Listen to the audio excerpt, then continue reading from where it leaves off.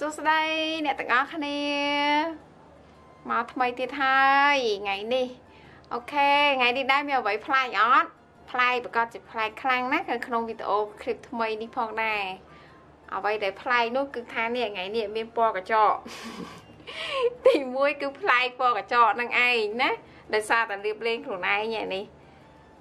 អូខេដើម្បីឲ្យមានសុភ័ណភាពតិចចឹងណាកុំឲ្យថតវីដេអូឃ្លីបលើកណាក៏ឃើញដៃបងវីសុឃ្លីបនឹងសស្លេកសស្លេកដាក់ឃើញពណ៌កញ្ចក់អសោះអញ្ចឹងនៅក្នុងឃ្លីបវីដេអូហ្នឹងថ្មីប្លែកនោះគឺពណ៌កញ្ចក់ហ្នឹងឯងចាតោះឥឡូវថ្ងៃនេះដែរគឺនាងខ្ញុំមានរូបមន្តថ្មីមួយទៀតណាតកតងនឹងបញ្ហាសក់ចាជាមួយនឹងបញ្ហាសក់ដូចបងប្អូនខ្លះគាត់មានបញ្ហាដូចថាសក់ជ្រុះ សក់គាត់ជ្រុះច្រើនហើយងាយនឹងក្រដោះមកវិញហើយនឹងមួយទៀតដូចថាបញ្ហានឹងកេនៅលើស្បែកក្បាលរបស់គាត់ដូចថាឡើងកេហើយនឹងឡើងដូចថាឡើងកម្រលមាស់លមាស់ហាគាត់មានបញ្ហាអញ្ចឹងច្រើនហើយមួយវិញទៀតណែបងអូនស្រីម្នាក់ដែលគាត់បានមកសំណុំពរនឹងខ្ញុំថាបងសុំអឺជាមួយនឹងបញ្ហាសក់បន្តិចអញ្ចឹងគាត់សុំជាមួយរូបមន្តថ្មីហ្នឹងណាអូខេអញ្ចឹងតើជូនតាមសំណុំពរណាថ្ងៃហ្នឹង ជូនតាមសំណុំពរនេះគឺមានคลิปវីដេអូថ្មីបញ្ហាសក់ហ្នឹងផងដែរណាដោយដែលនេះខ្ញុំបានប្រាប់ចឹងអញ្ចឹងរូបមន្តថ្មីនេះគឺតកតងជាមួយបញ្ហាសក់ហ្នឹងគឺសក់ដែលគាត់មានបញ្ហាជ្រុះច្រើននឹងក្រដោះមកវិញហើយនឹងសក់ស្ដើងហើយនឹងសក់ឡើងអង្គែឡើងកម្រនៅលើស្បែកក្បាលរបស់គាត់ដោយសារតែគាត់មានបញ្ហាដូចថា ជំងឺសាស្បែកនៅលើស្បែកក្បាលរបស់គាត់អញ្ចឹងដោយសារតែសក់គាត់ជ្រុះច្រើនសក់គាត់អាសាគៀបដូចថាអាសាគៀបអាសាធ្វើសក់អីចឹងណាវាឡើងដូចថាខូចជាមួយនឹងសរសៃសក់សរសៃក្បែកស្បែកក្បាលរបស់យើងផងដែរអញ្ចឹងសម្រាប់រូបមន្តអបសក់ថ្មីនេះគាត់អាចយកទៅធ្វើតាមផងដែរបានណាសម្រាប់បងប្អូនណាដែលគាត់មានបញ្ហាអញ្ចឹងទាំងអស់គ្នាគឺអាចធ្វើបានទាំងបរោះទាំងនារីណា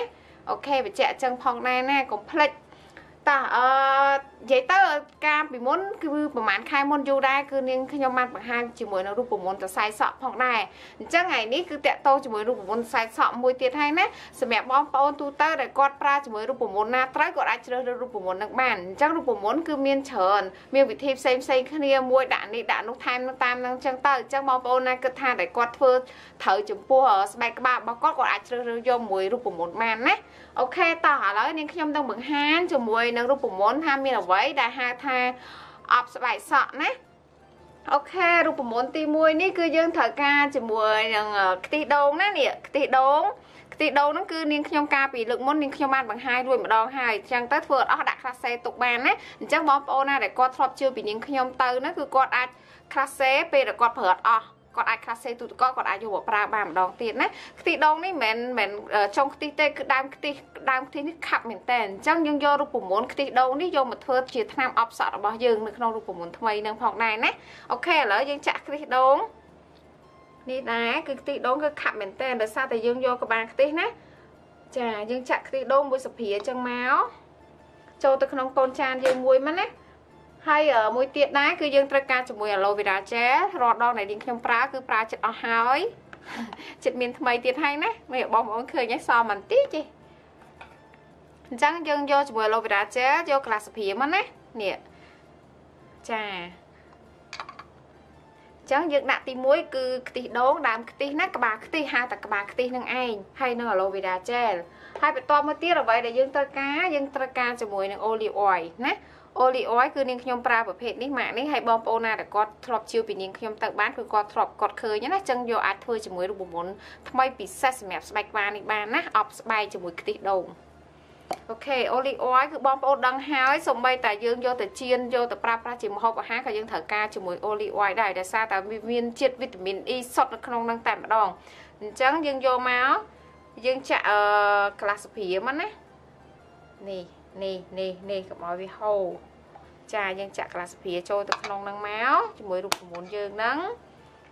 ចាហើយអ្វីដែលថ្មីមួយទៀតគឺយើងប្រើជាមួយនឹងនេះដែរនេះចងសាន baby oil ណា យើងប្រើជាមួយនឹងចនសា baby oil នេះគឺធ្វើឲ្យសក់របស់យើងទន់រលោងហើយរលាស់មានសំណើមផងដែរដោយបងប្អូនដឹងហើយណាដែលនេះខ្ញុំបានជម្រាបជូនគឺ baby oil តែតែយកមកលាបលើស្បែកកូនក្មេងរបស់យើងពេលមួយទឹកហើយហ្នឹងឲ្យមានសភាពទន់រលោងណាហើយនឹងការពារពីជំងឺបាក់តេរីមេរោគច្រើនផងដែរអញ្ចឹងយើងយក olive oil នេះយកមកដាក់នៅក្នុងរូបមន្តថ្មីសក់របស់យើងណា ឲ្យទៅប្រើរូបមន្តមួយហ្នឹងដល់បាក់បើកចឹងហ្មងគាត់មានកលៈច្រើនតង់ចាអញ្ចឹងយើងយកអូលីអុយនេះយើងយកចាក់វាមកក្លាសព្រាដែរចាយើងដាក់ក្លាសព្រារួចហើយណាធ្វើលឿនបន្តិចដោយសារថ្ងៃនេះរវល់ខ្លាំងហើយរដូវនេះអូនិយាយភ្លៀងហ្មងលិចទៅណាក៏លិចដែរ អញ្ចឹងធ្វើឲ្យលឿនប្រញាប់ទៅបានបង្ហាញជូនបងប្អូនហើយដើម្បីពេលសក់ទៅទឹកសើមត្រូវជីអ្នកណាដែលគាត់ធ្វើជីត្រូវបតូលមកដល់ផ្ទះភ្លាមធ្វើអបសក់ជាងភ្លៀងកុំឲ្យខូចដោយសារតែទឹកភ្លៀងណោះOK អញ្ចឹង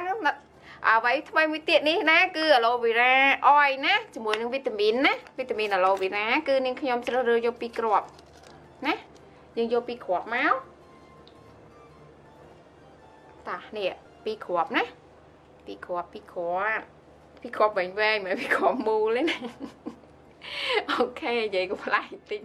និយាយយូរយូរទៅដូចអ្នកក៏ប្លែកដែរនិយាយម្នាក់ឯងអីម្នាក់ឯងដល់ពេលប៉ុសវីដេអូមិនដឹងមិនមានគ្នាឆ្លើយឆ្លងតែពងថតហ្នឹងគឺនិយាយម្នាក់ឯងចឹងហើយអូខេយើងដាក់ទឹកយើងដាក់គ្រាប់វីតាមីន E ចូលទៅក្នុងអឺប្រេងអប់សក់របស់យើងហ្នឹងទៅចំនួន2គ្រាប់មកណាដើម្បីជួយសំណើមសក់របស់យើងឲ្យឆាប់ដោះលូតលាស់ លូតលាស់ថ្មីល្អហើយនឹងឲ្យដូចថាដោះឲ្យក្រាស់ឡើងវិញហើយឆាប់ដោះមកវិញណាដោយតែបងប្អូនគាត់ទៅហាងអប់សក់ឬមួយក៏ធ្វើសក់អញ្ចឹងគឺគាត់តែងតែប្រើជាមួយវីតាមីន E គ្រាប់សក់ហើយអញ្ចឹងយើងយកវីតាមីន E គ្រាប់សក់នេះវីតាមីនវីតាមីន E ខ្លួនណាគឺខ្លាំងជាងសក់ទៅទៀតយកមកប្រើជាមួយរូបមន្តថ្មីរបស់យើង ចាយើងកាត់ចូលមកយើងកាត់ចូលមកណាហើយយើងចាក់ចូលទៅយើងដាក់មកគ្រាប់ចូលណានេះ នេះដែរឃើញទេបងប្អូនឃើញទេអូខេបន្ទាប់មកទៀតគឺយើងកូរឲ្យសព្វនេះដែរគឺហៅថាអឺរូបមន្តអប់សក់ខ្ទិះដូងណាឥឡូវនាងខ្ញុំសុំកូរឲ្យសព្វសិននេះបងប្អូនឃើញទេគ្រាន់តែឃើញក៏ដូចថ្នាំអប់សក់របស់យើងដែលយើងប្រើជាទូទៅនៅក្នុងហាងដែលយើងបានទៅកក់សក់ដែរដល់សក់អឺអប់ឲ្យនឹងចូលម៉ាស៊ីនអីចឹងណាគឺគឺដូចគ្នាចឹងបងប្អូនឃើញអត់មានខុសគ្នាទេហើយខ្ទិះដូងនេះគឺនាង នាងខ្ញុំអឺអឺបញ្ជាក់ប្រាប់បងប្អូនណាគឺល្អខ្លាំងមែនតើហ្មងចំពោះសក់ព្រោះនាងខ្ញុំបានបាត់ពិសោធន៍មកហើយហើយដោយសារតែសក់នាងខ្ញុំគឺថាលេងពណ៌ខ្លាំងហ្មងកាមុនហើយអញ្ចឹងនាងខ្ញុំក៏លើពីមិត្តភ័ក្តិបងប្អូនណាគាត់ប្រាប់ថាយកខ្ទិះដូងខ្ញុំអប់សក់មកគាត់ថាការនាងខ្ញុំប្រើដូចប្រើជាតែមួយមុខឯងជាមួយខ្ទិះដូងហ្នឹងឯងអត់មានដាក់បន្ថែមអីដូចវីតាមីន E អីចឹងឯណាដល់ពេលអញ្ចឹងទៅមើលទៅឃើញថាប្រើល្អរបស់គេមែន ល្អរបស់គេហ្នឹងគឺថាឃើញសក់របស់យើងអត់សូវជ្រូកាត់បន្ថយការជ្រុះសក់ ហើយនឹងដោះមកវិញរឿងលឿនដែរណាអញ្ចឹងនាងខ្ញុំថ្ងៃនេះយករូបមន្តនឹងមកហើយនឹងផ្សំជាមួយរូបមន្តវីតាមីនរបស់យើងខ្លះដើម្បីដែលយើងបានយល់ដឹងខ្លះណាយើងយកមកផ្សំចូលគ្នាឲ្យคล้ายទៅជាថ្នាំអប់សក់ខ្ទិះដូងមួយមុខអញ្ចឹងសម្រាប់បងប្អូនណាដែលគាត់មានសំណងពរដល់នាងខ្ញុំដែលគាត់ចង់បានពីបញ្ហាសក់ណាជាពិសេសបងអូនស្រីម្នាក់ដែលគាត់បានសំណងពរនៅនាងខ្ញុំនៅក្នុង inbox ហ្នឹងឥឡូវនាងខ្ញុំបានចែកចាយជូនបងអូនស្រីហើយសម្រាប់ក្នុងថ្ងៃហ្នឹងផងដែរណាហើយជឿជាក់ថាបង បងប្អូនជាពិសេសបងអូនស្រីនឹងប្រើទៅពេញចិត្តហើយដោះសក់មកវិញកាន់តែលឿននិងកុំឲ្យមានការដូចថាជ្រុះសក់ច្រើនណាជាពិសេសបងប្អូនមិត្តរីដូចគាត់តែងតែដូចថាជិះម៉ូតូបងអូនស្រីខ្លះគាត់ទៅធ្វើការឬមួយទៅរៀនហ្នឹងមានបញ្ហាសក់ហើយជាពិសេសនោះគាត់គាត់ពាក់មួកក្លឹបត្រូវហ៎បងប្អូនមួកក្លឹបដូចថាមួកការពារសុវត្ថិភាពហ្នឹងណាមួកក្លុបហ្នឹងឯងគឺថាគ្រាន់តែពាក់ភ្លាមអូយនាងខ្ញុំធ្លាប់មែនជិះម៉ូតូថ្ងៃមួយ ពាក់ភ្លឺនេះថាឡងធ្ងន់ក្បាលហើយហប់ពេញក្បាលហ្មងចង់អស់ស្រួលខ្លួននេះណាចាអញ្ចឹងនាងខ្ញុំយកអាបត់ពិសោធន៍នឹងមួយទៀតបើសិនជាបងប្អូនណាពាក់មួកនឹងរាល់ថ្ងៃក៏ធ្វើឲ្យសក់ក្បាលជ្រុះដែរជឿជាក់អញ្ចឹងអត់បងប្អូននាងខ្ញុំជឿថាអញ្ចឹងព្រោះគាត់ជាជ្រុះសក់ច្រើនហើយសើមក្បាលដោយសារបែកញើសយ៉ាងទៀតណាអញ្ចឹងបងប្អូនណាដែលគាត់មានតែគាត់ដូចថាពាក់មួករងថ្ងៃរងថ្ងៃអញ្ចឹងណាគឺគាត់ ត្រូវតែយករូបមន្តហ្នឹងឧស្សាហ៍ធ្វើណាក្នុងមួយអាទិត្យយើងធ្វើ3ដងទៅប្រកាសជាដោះសក់ឆាប់មកវិញហើយដូចថាលែងមានបញ្ហាជ្រុះសក់ឯងមែនណាជឿជាក់អញ្ចឹងហ្មងដោយសារតែបងប្អូនប្រុសប្រុសខ្លះគាត់សក់គាត់ខ្លីហងហ៎គាត់ពាក់ទៅគ្រាន់តែពាក់ចាប់ពីមួយខែពីរខែឡើងឃើញសក់គាត់ជ្រុះមែននាងខ្ញុំឃើញមែនណា ចាអញ្ចឹងកុំភ័យកុំព្រួយកុំបារម្ភតទៀតណាជាមួយរូបមន្តថ្មីនេះគឺបងប្អូនអាចយកទៅធ្វើបាន កាត់បន្ថយការជ្រុះសក់បណ្ដោះសក់មកវិញកុំឲ្យឆេះសក់ហើយនឹងកាត់កាត់បន្ថយជាមួយគេលើក្បាលហើយនឹងកោសិកាដូចថានៅលើស្បែកក្បាលរបស់យើងឡើងដូចថាឡើងឡើងរបៀបវាឡើងកបអីចឹងណាពាក់មួកឬមួយក៏គាត់ត្រូវកម្ដៅថ្ងៃគឺកាត់បន្ថយទាំងអស់អញ្ចឹងបំបត្តិរាល់បញ្ហាទាំងអស់នៅលើស្បែកក្បាល កុំភ្លេចណាបងប្អូននាងខ្ញុំជំរាបឲ្យជំរាបទៀតជាមួយរូបមន្តថ្មីពិសេសនេះផងដែរហើយទី1ពេលដែលបងប្រើពេលដែលបងប្រើអញ្ចឹងមកនេះខ្ញុំថាមែនអែនិយាយទៅម្នាក់ឯងទី1ណាពេលមុនពេលដែលបងប្អូនប្រើគឺបងប្អូនកក់សក់ឲ្យស្អាតរួចរាល់សិនកក់សក់ឲ្យរួចរាល់ឲ្យស្អាតហើយយើង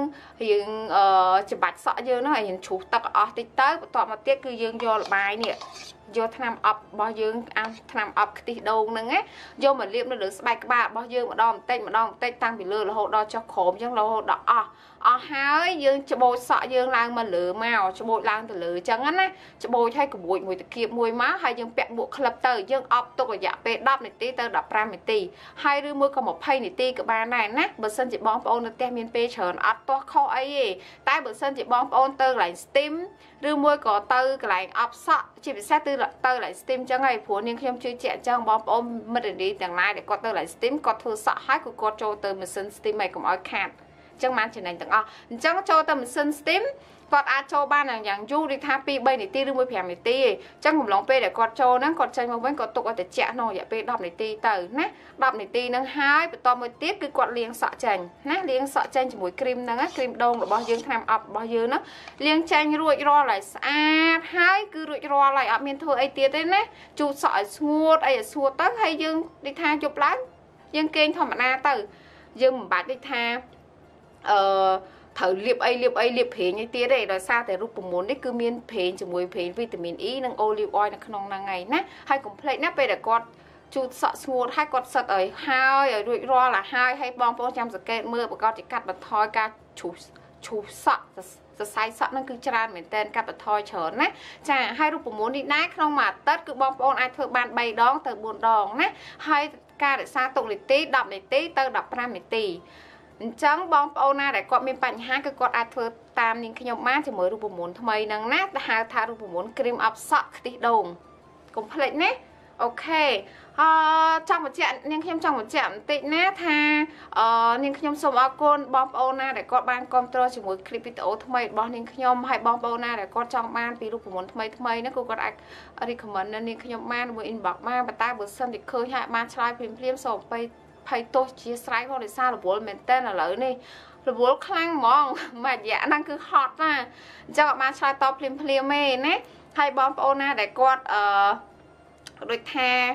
គាត់ចង់និយាយថាគាត់បានគ្រប់គ្រងហើយគឺគាត់បានជួយគ្រប់គ្រងតទៀតទៅដើម្បីយកបានរូបមន្តច្រើនច្រើនដើម្បីខ្លួនយើងស្អាតពេញម្ដងខ្លួនតាំងពីក្បាលដល់ចុងជើងអញ្ចឹងទៅណា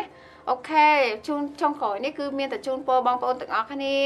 ឲ្យកាន់តែស្រស់ស្អាតឡើងហើយនឹងស្រឡាញ់នាងខ្ញុំមីជូគ្លីបឲ្យច្រើនច្រើនដើម្បីមានកម្លាំងចិត្តផងដែរណាហើយអរគុណដែលបានគ្រប់គ្រងគ្រប់គ្រងទាំងចំពោះផលិតផលនាងខ្ញុំ